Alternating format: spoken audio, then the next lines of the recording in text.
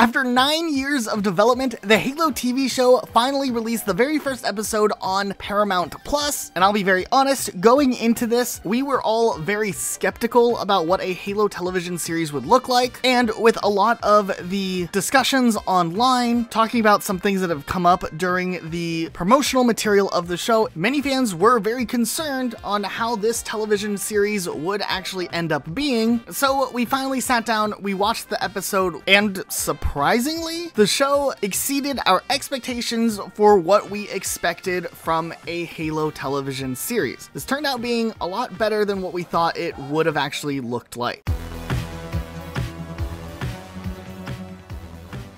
With there being a rough production history, and in general, the Halo live action adaptations in the past not necessarily being outstanding. We were going into this with a really good attitude in the sense of even if this show is absolutely awful, we're gonna have a good time with it. We're gonna watch it, we're gonna enjoy it, we're gonna laugh at some of the goofiness that we expected to have in the show, and kind of laugh at some of the cringe that would inevitably happen. And the show kind of proved us wrong in that front, where for the most part, the show's first episode does a really really great job at setting up the world that it is existing in. It introduces characters, plot threads, while also having some really interesting action sequences and some well placed character beats in there too. Now, of course, there was a lot of concern with this show when it seemed like the show would very much so be going off of the path of the Halo video games, not really looking to the games at all as a source of reference, but kind of just going off of the more expanded universe. That was something that Luke and I both were not a fan of when they announced that they were doing that approach with the series and that this would be a separate timeline. But surprisingly enough, if you're willing to shed off your preconceptions of the Halo universe and what that is supposed to look like, this show does a very good job at setting up its own universe where everything still makes sense and your existing Halo knowledge from the games and TV shows still is relevant in a sense to this show as well, where it doesn't feel like they were just completely throwing away the universe that had already already existed for two decades. The show very much feels like a Halo show inspired by the video games and the extended universe, but it also makes its own creative decisions at times. And I think the time period that they ended up choosing to use for this series, kind of making everything take place prior to any of the events we've seen in the Halo video games, does kind of allow this show to stand on its own two feet when it's trying to establish its own plot and setting for the story and for the characters. Right out of the gate, after just a little bit of setup, there is some high intensity action that is shown in this show. And honestly, we weren't too sure how they were going to handle the action sequences in a television adaptation, but right away, it's actually pretty awesome. Like, I know that sounds weird to talk about for a television series that obviously is going to have action in it, but we definitely didn't expect the show to come out and be as gritty and brutal as what they actually showed in the show. I think a lot of fans of the Halo series or newcomers to the franchise will be surprised with the approach they took to creating some of these action sequences. I mean, some of the combat is just visibly graphic, even if it's just for a short burst before they cut the camera away. And just in general, it's one of those things where you think they would have cut the camera away before showing some of the detail to what's going on in some of the combat. And instead, they're like, nah, war is brutal. This is brutal, and this is what's happening here, and you need to know about this because it's a part of the story. And it's looking like they're going to use a lot of these big moments, these action sequences that might look more brutal than what you would expect, as a catalyst for other characters to have growth along the way. Not only is that something that would be really cool, but it also looks like that's the route that they're probably going with, as they're using a lot of the moments that are shown on screen as kind of a building block to start establishing who these characters are, what makes them tick, and why they are motivated in the way that they are. Obviously, it's only been the first episode, we won't know how they will continue these arcs later on in later episodes, but as far as a starting place goes, you can already see a lot of the threads coming together, and I think this first episode did a great job at not only introducing Halo to a new audience who maybe have never played the games before, but also is still accessible to the player base who have played these games for two decades. And that was the really big challenge because it really seemed like from the pre interview period that the TV show would completely ignore the existing fan base and universe. And I don't think they did that here. Now, the despite the very good first impression that we're feeling from episode 1, there are, of course, some goofy moments that are in this episode, as you would expect from any television adaptation of a video game. And it's not completely flawless in its writing across the board. Some dialogue does feel a little bit odd or quirky, especially in the later act of the episode when there's just a lot going on and there's these one offs of dialogue between multiple different characters. It sometimes feels a little bit forced or feels not necessarily a natural sentence that people would say, but it's not jarringly bad at times where you're like, what is this that they are saying here? Or what are they doing? Also, some of the animation itself and CGI that is used in some of those action sequences is a little bit weird at times. I mean, it is a television series, so you're not going to expect movie level blockbuster type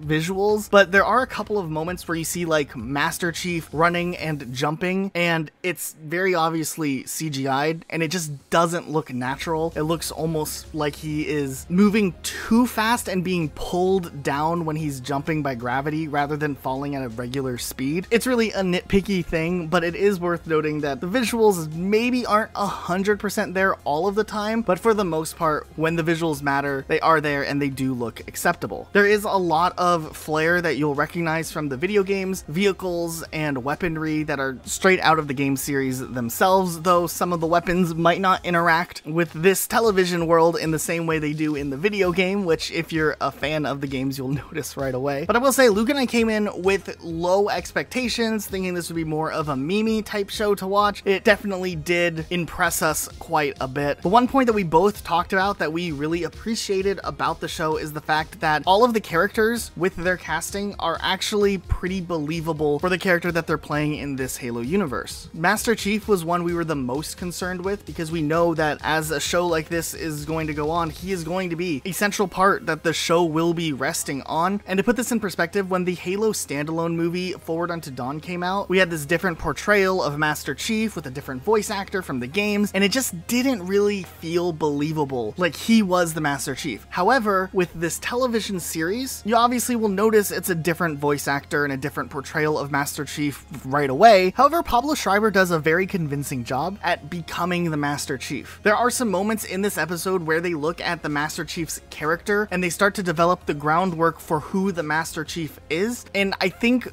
through this first episode at least, Pablo Schreiber does a great job at making the Master Chief believable. And once you get over a couple of the things that they changed, this version of the Master Chief still feels like the Master Chief you know from the video games. It still feels like it's the same character and what you would expect from the Master Chief as a character. Especially if some of the character adaptations and plot lines definitely don't go in the way that the video games and books have typically gone. I mean, there's some big decisions that happen mid to late way through the first episode that is definitely off script from what we've seen in games and books. And despite that, because of the Master Chief's performance being so solid, it doesn't feel like you're forced out of the story because things are going so differently. Because Master Chief is still rooted in the same characteristics and personality that he's always had. And that's something that I did not expect them to be able to pull off and we were pleasantly surprised that they managed to. Now, just because overall we think that the first episode generally is pretty good, it doesn't mean that the overall show is out of the woods yet either.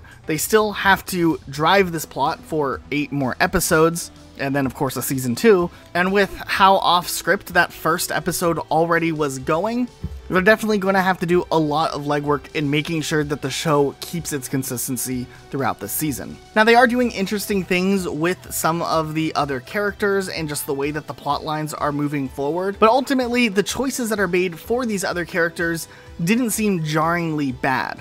There's definitely a lot of things that are popping up right away that are going to play out later on in the season, but we feel that a lot of the characters are at the very least conflicted in the situations that they are even if it seems like at times some characters might be acting out from how you would expect them to in the video games per se. Another character that surprisingly is a very interesting character that I think could either become a fan favorite or just a character that the whole entire fan base ends up hating is the character Kwan who is played by Yerin Ha. And whether you love the character or you hate the character, Yerin Ha did an excellent job at bringing this character to life and making a believable three-dimensional character. Natasha McElhone, who plays Halsey, does a really good job at bringing across this pragmatic personality that Halsey's always been known for in the video games.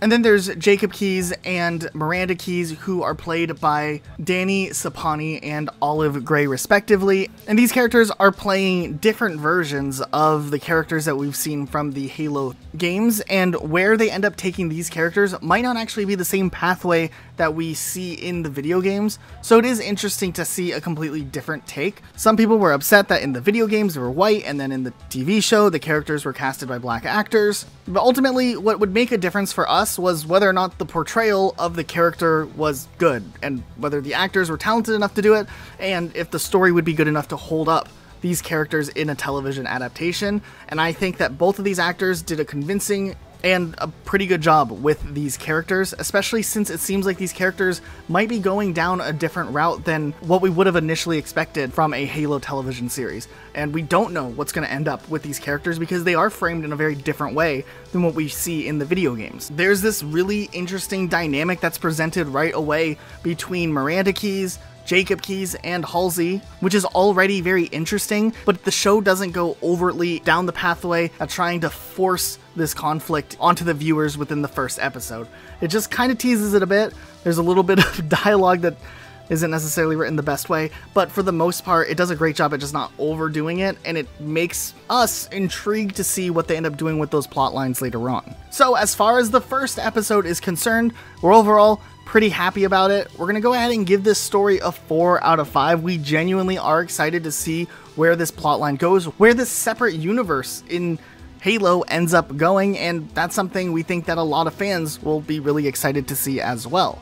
Now, we are trying to discuss how we want to approach doing reviews in the future on this channel, so if you could help us out by leaving a comment down below if you've already watched episode 1 of the show, and maybe let us know what you think, and then also, maybe leave a comment if you have not watched the show yet. We're trying to gauge if we should continue to do spoiler-free reviews, or if we can dive into spoiler territory, but we kind of need to know if our audience watches these reviews before watching the actual episode, or if they come and watch the reviews after watching the episode. So we kind of got to gauge it out a little bit. Also, for more videos like this, make sure you are subscribed with notifications on. Check out our channel. We cover everything Halo and then some. We'll see you guys all next time with a brand new video.